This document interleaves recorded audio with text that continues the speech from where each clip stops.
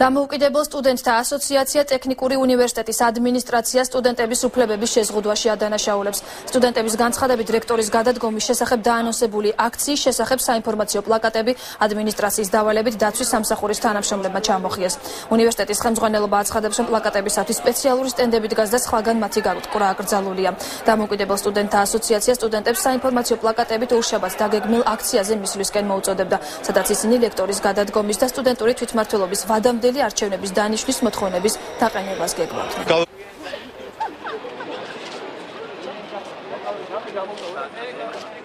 თავი გავაკარით ყველა სართულზე პლაკატი და მე ერთი საათი როდესაც გავიდა დაიწყეს დამლაგებლებმა ამ პლაკატების ჩამოხსნა და არანაირი უფლება არ ქონდათ რომ ჩამოეხსნათ ეს პლაკატები და მე რო ვეკითხებოდით ამ ადამიანებს რატომ ხსნით?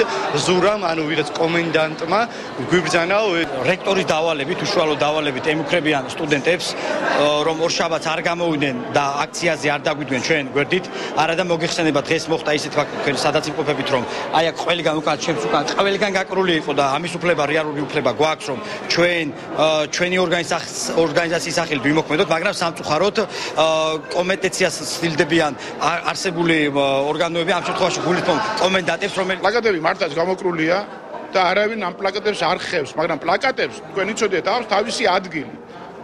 არ შეიძლება ჩვენ ლიფტთან, არ შეიძლება ჩვენ სადღაც კედლებთან ან კედლებზე გამოვაკრათ ეს